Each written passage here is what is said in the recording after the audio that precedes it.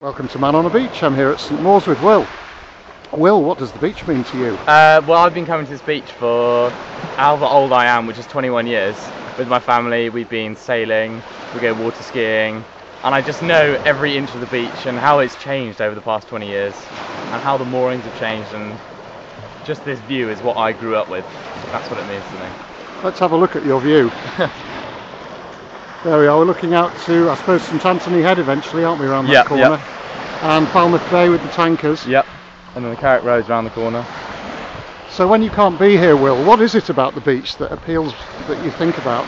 Um, just the freedom that I know that I can come down here and I can just do what I like really.